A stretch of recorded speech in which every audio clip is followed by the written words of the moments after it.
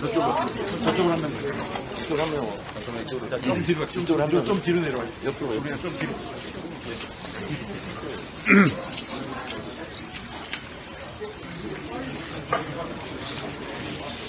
네.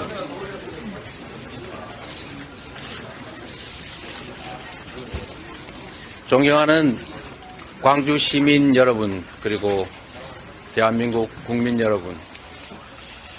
5월 영령 앞에서 국민과 국가를 그리고 민주주의를 생각합니다. 우리의 민주주의는 단 한 번도 저절로 온 적이 없습니다. 국민의 피와 생명을 바쳐서 만들고 지켜온 것입니다. 우리에겐 믿음이 있습니다. 국민은 언제나 옳았고 더디지만 역사는 진보한다. 바로 그 믿음입니다. 국민과 역사에 대한 이 신념은 어떠한 난관도 헤쳐나온 민주당 정신의 정수입니다. 이번 총선의 과제는 분명합니다. 무능하고 무도하고 무책임한 윤석열 정권을 심판하는 것입니다. 민주주의와 평화, 민생과 경제를 살려야 합니다.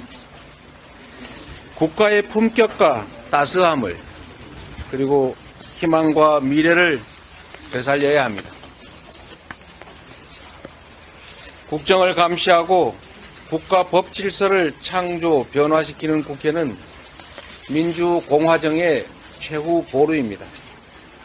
2년도 안 돼 나라를 이렇게 망친 정권이 국회까지 장악하면 국가 시스템까지 망가뜨릴까 걱정됩니다.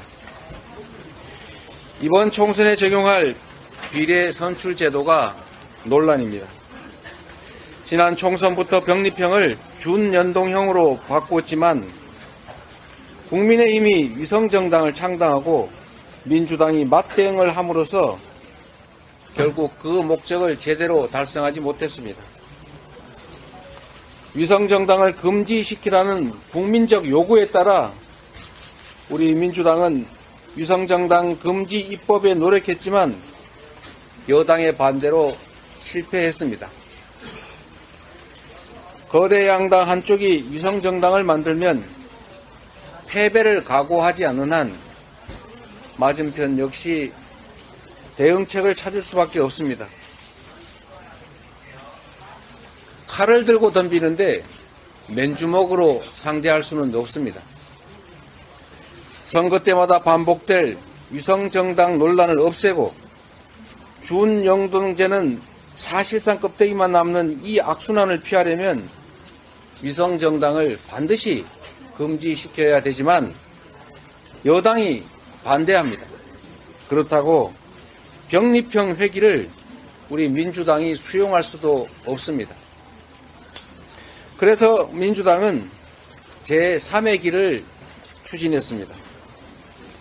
국민의힘이 요구하는 병립형 비례를 채택하되 민주당의 오랜 당론인 번역별 비례의 이중 등록을 허용하고 여기서 생길 수 있는 소수정당 배제 문제를 해결하기 위해서 소수정당을 위한 의석 30% 할당 또는 권역별 최소 득표율 3%의 1석을 우선 배정하는 방안이었습니다.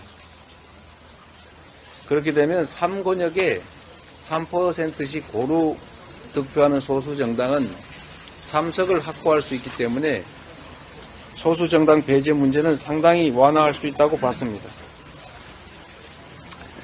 그러나 여당은 소수 정당 보호 그리고 민주당이 요구한 이중 등록을 끝까지 반대했습니다. 이제 민주당은 권역별 병립형으로 회귀하거나 준연동제 하에서 여당의 관측의 대응책을 마련하거나 양자택일을 해야 될 상황이 됐습니다. 권역별 병립형은 지역주의 완화 그리고 민주당에 유리한 점이 있지만 소수 정당이 피해를 입습니다. 여당의 위성정당 창당에 맞대응해서 민주당의 위성정당을 창당하는 것은 반칙에 반칙으로 대응하는 것이어서 정당 방위이지만 결론은 준영동제가 껍데기만 남습니다. 이런 어려운 상황에서 다시 한번 되새겨 봅니다. 이 나라의 주인은 국민입니다. 정치는 정치인들이 하는 것 같아도 결국은 국민이 합니다. 존경하는 국민 여러분, 준연동제는 비록 불완전하지만 한 걸음 진척된 소중한 성취입니다. 과거로의 회기가 아닌 준연동제 안에서 승리의 길을 찾겠습니다. 깨어 행동하는 국민들께서 멋지게 이기는 길을 제시해 주실 것으로 믿습니다. 위성정당 금지법을 거부한 여당은 이미 아시는 것처럼 위성정당을 창당하고 총선 승리를 탈취하려고 합니다.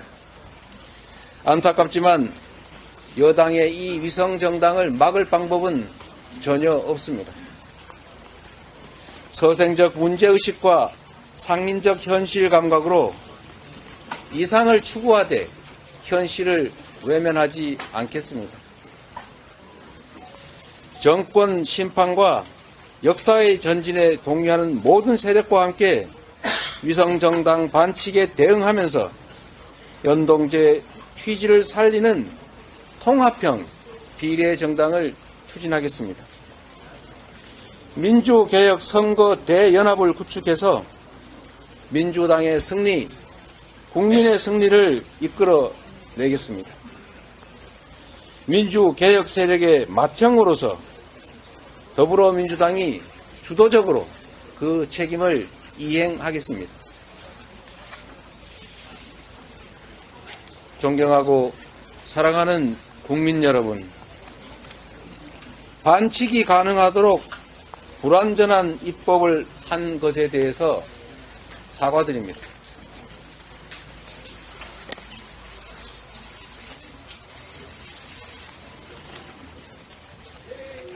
국민께 약속드렸던 위성정당 금지 입법을 하지 못한 점을 사과드립니다.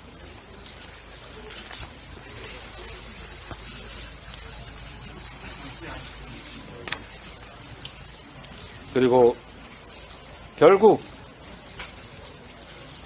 위성정당에 준하는 준위성정당을 창당하게 된 점을 깊이 사과드립니다.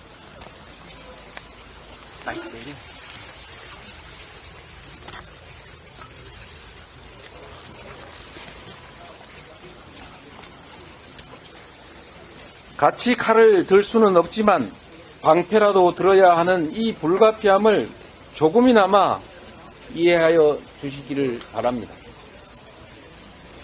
저와 생각이 다른 분도 많으실 것입니다. 어떤 결정도 모두 저에게 책임이 있습니다. 내일을 따라 국민만을 믿고 가겠습니다. 죽기를 각오하고 반드시 승리하겠습니다. 민주개혁 세력의 총단결로 대한민국의 퇴행을 막고 총선 승리로 새로운 희망의 길을 열어가겠습니다. 죄송합니다. 그리고 고맙습니다. 민주주의!